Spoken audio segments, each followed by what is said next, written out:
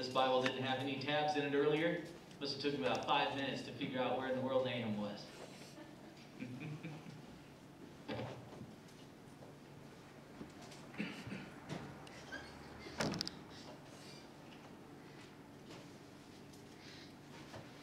All right, as we stated in the bulletin, this is really one of the great verses in all of the scripture. One of the greatest verses in all of the Bible.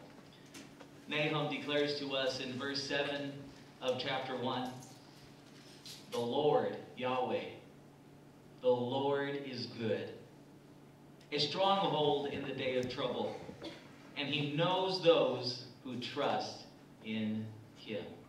And again, Yahweh is good, a stronghold in the day of trouble, and he knows, he knows those who trust in him. This verse spoke to me so greatly, so deeply. It so touched my heart the very first time I read it. I remember it must have been a, nearly 10 years ago now, because Christian was just a little baby. And we were living in Ontario the first time, uh, sometime around 2003 or 4. In fact, we might have just moved into Norwalk for that matter. And I was going through the minor prophets and came to Nahum. And my goodness, that verse just, just, just so brightly shines out from the pages of Scripture. As you read through Nahum, it's not too long before you get to that verse 7. The Lord is good. The Lord is good. And He's so good to us, He's a stronghold whenever we face trouble. We can run to Him and hide. And He will protect us. He will keep us. And He knows each and every one of us. Oh, the Lord is so good. And this verse so touched me as I read it those near 10 years ago that I sought to, to really put it to music. And if you came to vacation Bible school, you, you sang with the kids, He is a stronghold in day of trouble, and He knows those, this is Jonathan Davis' favorite part, and He knows those who trust in Him. And then it goes on to how the Lord is good, the Lord is good. And I sought to do that because I wanted my kids to know this verse. I wanted it to be something I could remember all the time. Whenever I face turmoil and difficulty and trial, I wanted something to be able to, to be able to remember this verse by. And what better way than to set it to music? Music is so easily remembered in the heart and by the mind. And so the Lord is good. And it has been a verse that has meant so much to me over the years because I have seen in my life the Lord is good to me. And I imagine those of you here, in fact, I know it, as you have all given testimony so very publicly in this church and in other places of how the Lord has been good to you. It hasn't always been easy. That's why, thank goodness, He is a stronghold in the day of trouble. That's really why He is so good, because we can run to Him and know that we are protected and kept by Him and by His love. The Lord is good. The Lord is good. Now, before we make personal application of how the Lord has been good to us, you may find it really a strange verse as Nahum declares it here. In fact, let's begin reading from verse 1 to sort of get the idea of where this verse comes into play in Nahum's life and ministry. Verse 1 declares, The burden against Nineveh. Oh, right away, that tells us this is the sequel to Jonah. See, Jonah, he went to Nineveh about 150 years before Nahum prophesies. So Jonah is 150 years ago. And we know his story. He went to Nineveh. He didn't want to. He was the reluctant prophet. In fact, he had other ideas until the Lord explained to him his will more clearly. and then uh, Jonah finally did get to Nineveh. And he declared that Nineveh was going down. Judgment day was just 40 days away. And that city repented. And we've talked about Jonah, how that was really his greatest fear. Because he knew how good the Lord was. And how slow to anger. And how he's so full of loving kindness and grace. And Jonah was afraid that if they repented, even though they had not been given a gospel of grace, Remember, Jonah was not sent to give them a message of if you repent, God will be gracious. That wasn't part of the deal. It was simply 40 days and you're done, you're done for. You're through. It's over. Judgment. You're overthrown, as he declared. But they did repent, to Jonah's great dismay. the greatest revival in history, and the evangelist was so upset about it. Imagine that. And so 150 years go by, and those people who once repented, the king down to the lowest peasant, those people have long since passed. And now their grandchildren and great grandchildren are on the scene, and they are an unrepentant and rebellious people.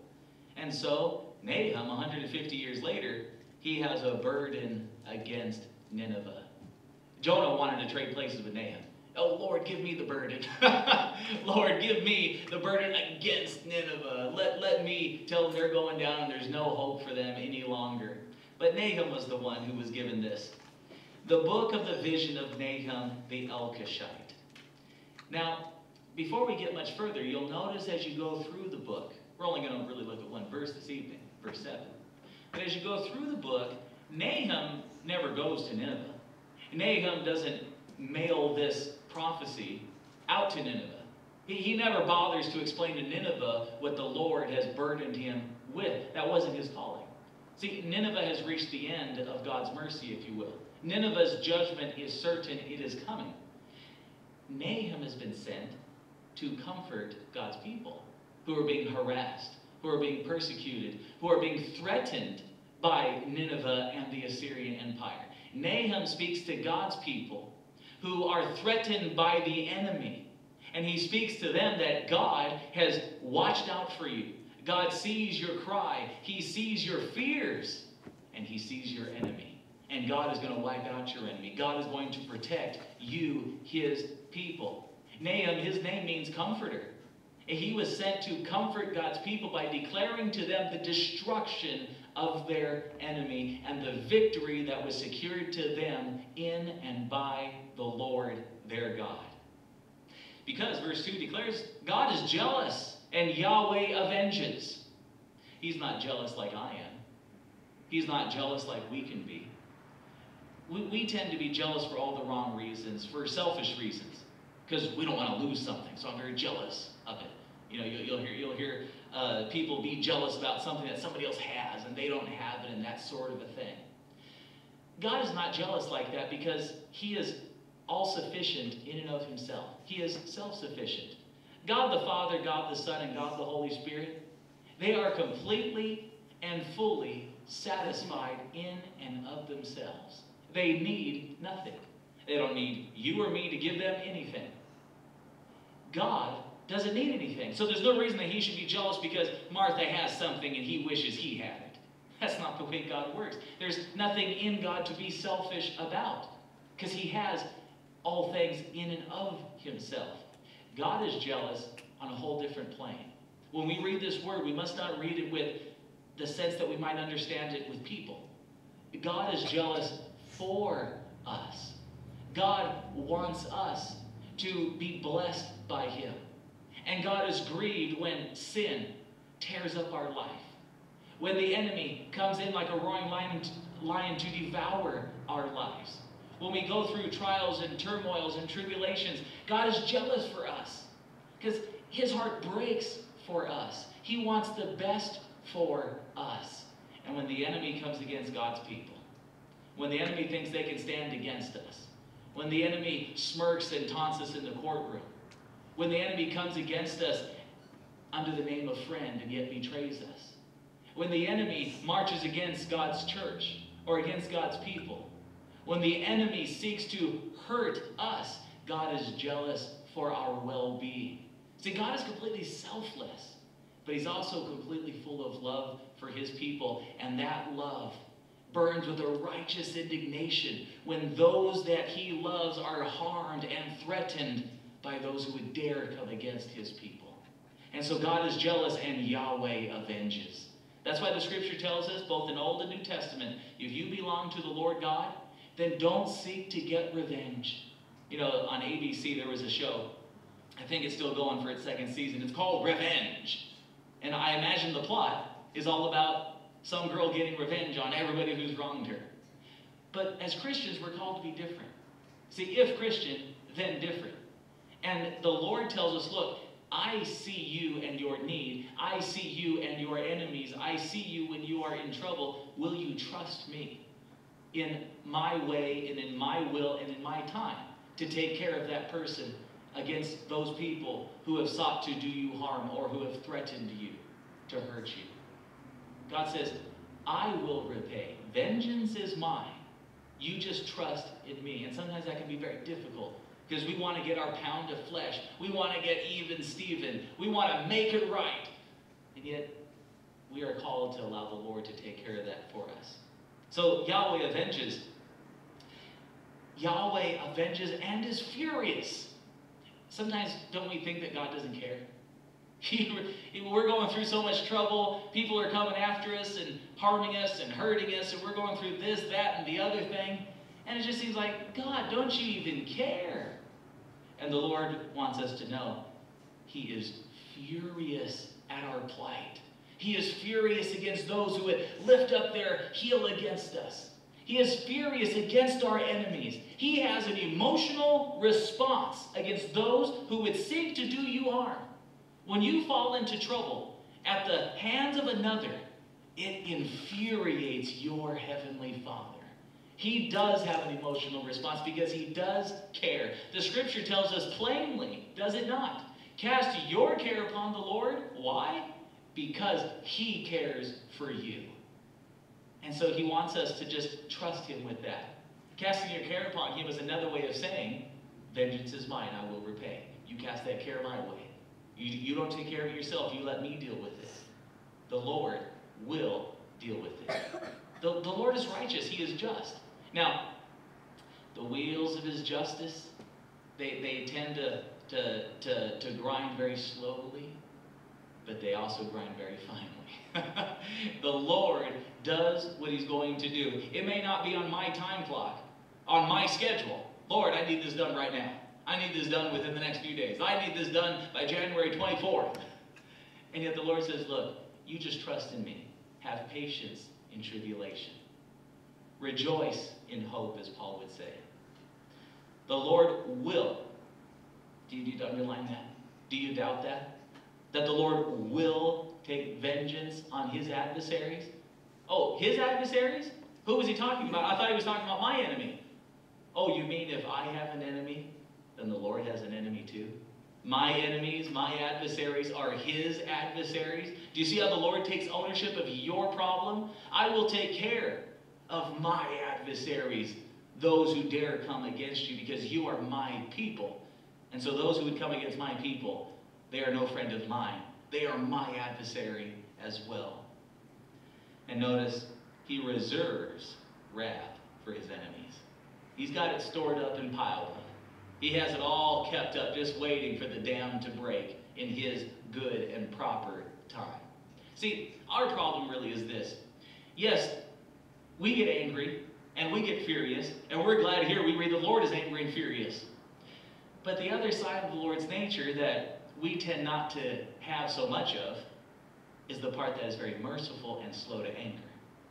And so the Lord sometimes is also working in other people's lives when we wish He would just wipe them out. you know, the Lord has a, a bigger plan. It's beyond just our life. He'll take care of it. It's not that He's going to let it slide, your injustice, that which was done against you. He's not going to let it slide. But so often He sees a far greater and bigger picture.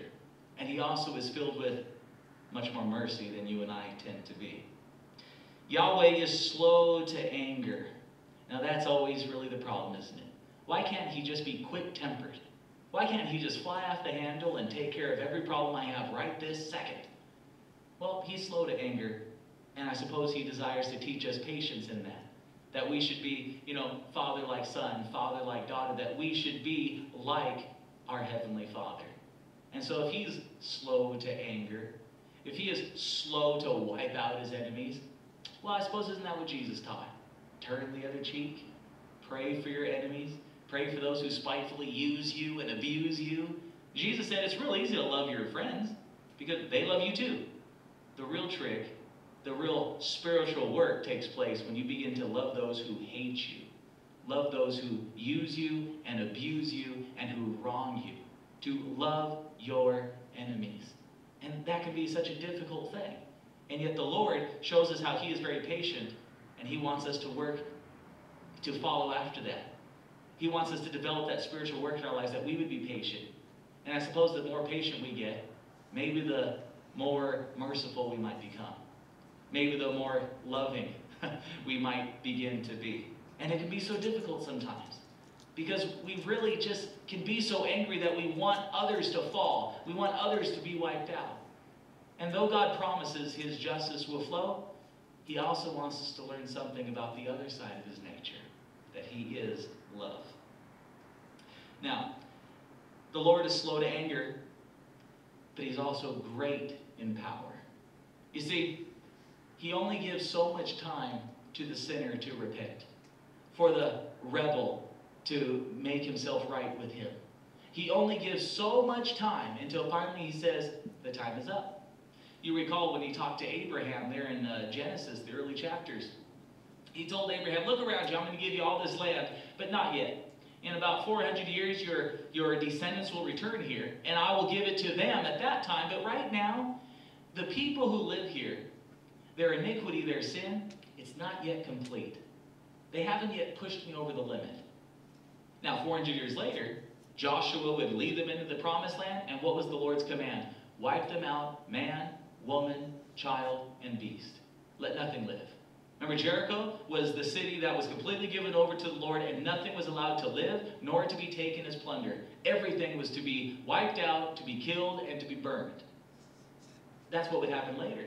But back in Abraham's day, their sin is not yet complete. My mercy is still working with them.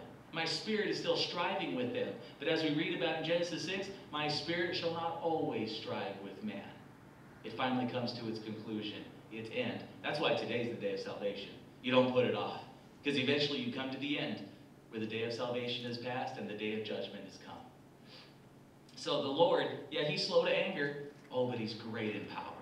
And that judgment finally does fall, and the greatness of his power is seen. Sodom and Gomorrah was so prosperous and such a great mighty and amazing city, just like Nineveh was, just like Babylon was. And yet, when the time finally came, when the Lord's mercy came to its, its fullness, when their sin finally pushed God over the edge, the destruction was complete. It was, there was nothing left after, afterwards. And so, yeah, he's slow to anger, but he's great in power, and we must rest in that. And he will not at all acquit the wicked.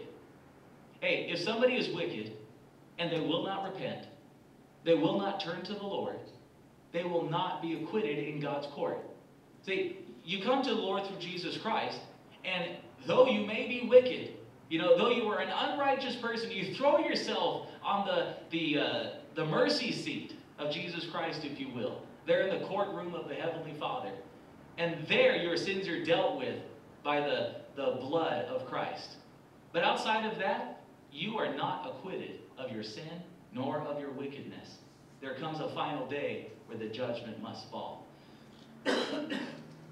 now, the Lord has his way. Sometimes we think the world has their way. Sometimes we think nothing's ever going to go the right way. You know, we try to hang on to Romans 8:28 where you know, for those who are chosen, for those who love the Lord, for those who are called according to his purpose, everything is working out together for good and for his glory. And yet sometimes we begin to doubt that. And Nahum reminds God's people, Yahweh has his way. In the whirlwind and the storm, when you look out and see chaos, and God must not be in control, Nahum says he's in absolute control because he has authority over the chaos. The Lord has his way, and the clouds are but the dust of his feet. You, you, you see a storm brewing in your life, you, you see chaos looming, you, you see uh, this just debris flying, dust everywhere, and it looks like nothing is going right. God has his way. Remember what Joseph told his brothers when they thought he would take his vengeance upon them because they had thrown him into a pit and sold him into slavery. Twenty years go by and they find out he's the prince of Egypt. And they're afraid of Joseph. And what does he say? He understood the heart of God. And we learn something about God from Joseph's words. What you meant for evil, what you meant to bring chaos into my life and trouble upon me, God meant it for good. So when you look around your life and you see the storm, you see the chaos, you see the dust billowing up around you, know that God, the Lord, Yahweh, your Savior, has his way. He rebukes the sea and makes it dry and dries up all the rivers. Bashan and Carmel wither. Notice the great power of God here. And the flower of Lebanon wilts. The mountains quake before him, the hills melt, and the earth heaves at its presence. Yes, the world and all who dwell in it. When God moves, people feel it. Who can stand before his indignation? And who can endure the fierceness of his anger? His fury is poured out like fire, and the rocks are thrown down by him. Nineveh, you better watch out. Nineveh, you're the enemy of God's people, as so you were the enemy of God himself. God is about to move. He's slow to anger, but he's great in power. And so what does Nahum say after saying all of this?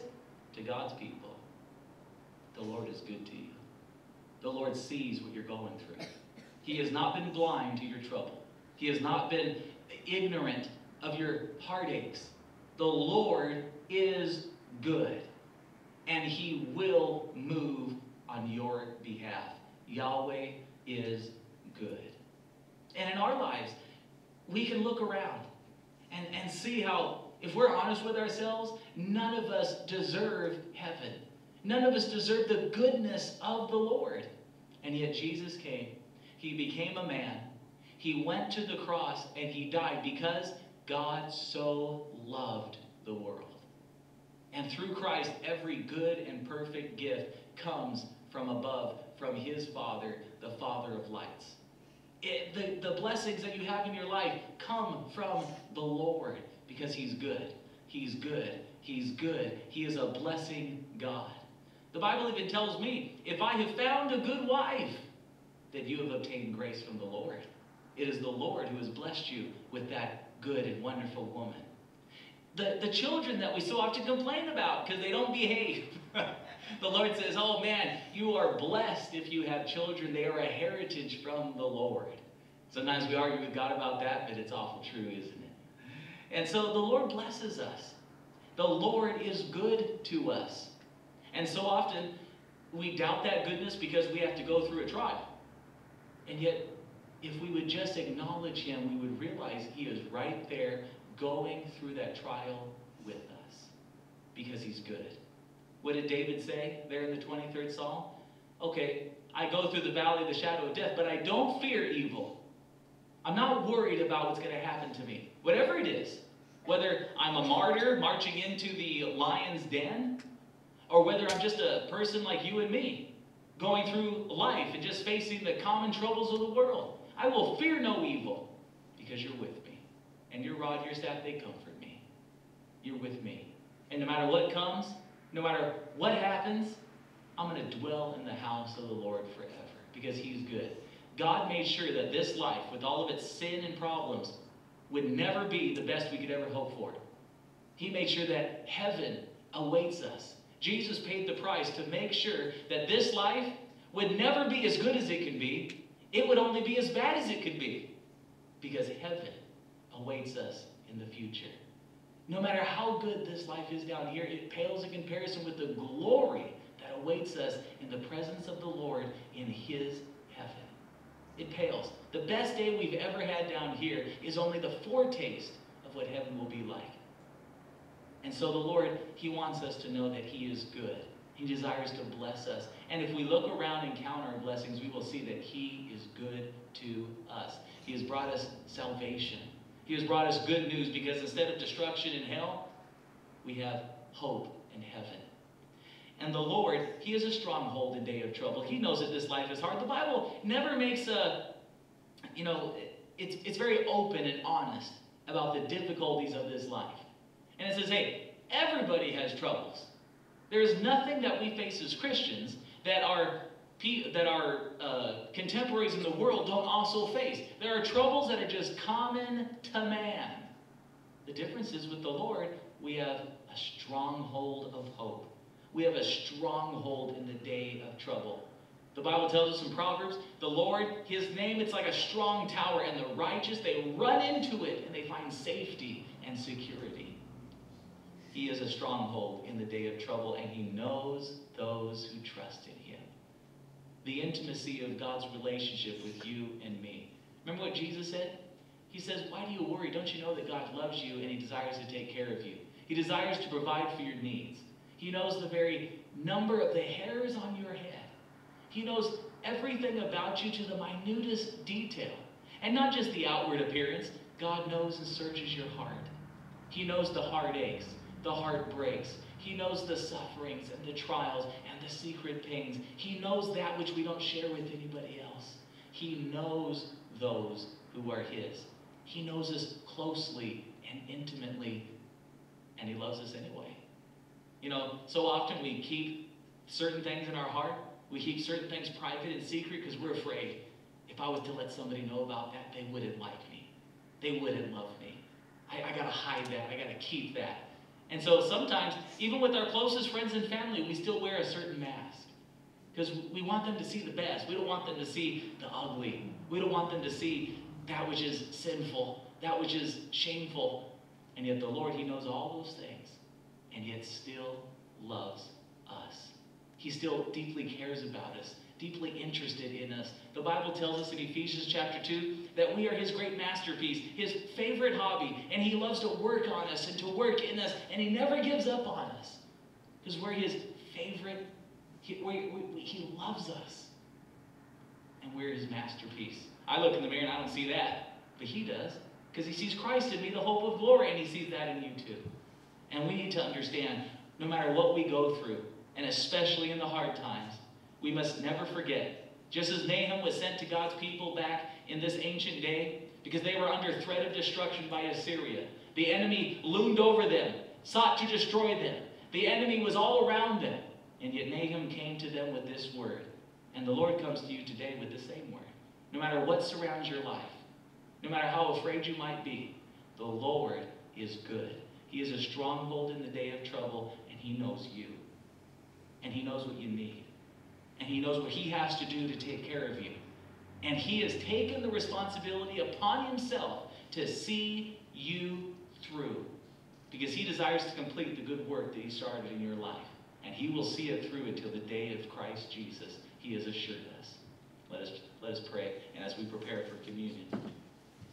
Heavenly Father, we thank you so much for this wonderful, wonderful verse that speaks of your goodness and of your strength.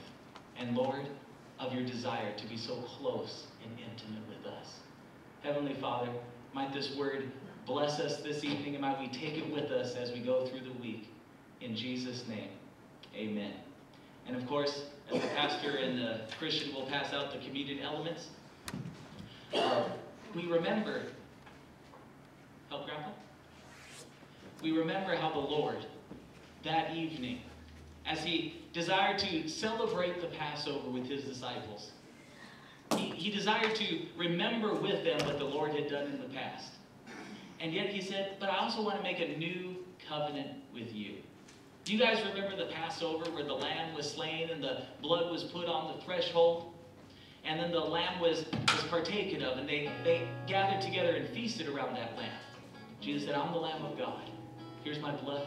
Here's my body broken for you. And whenever you take of the, the bread and the wine, remember that I died for your sins.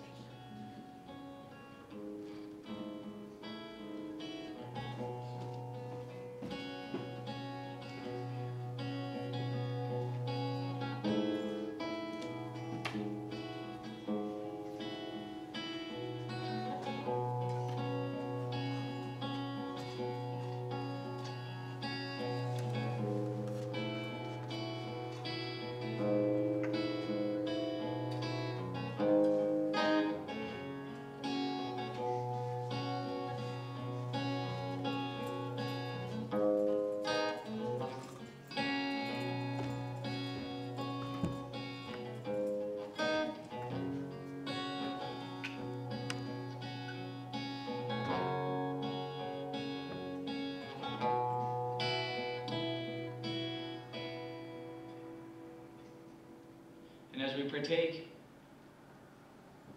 of the fruit of the vine, we remember his blood was shed for us.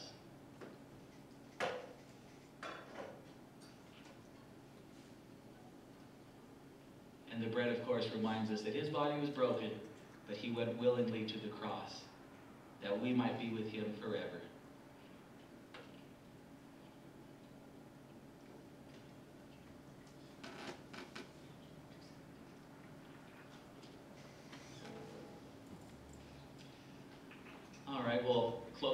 singing, Oh, How I Love Jesus. We don't usually have uh, music with it, but tonight we will.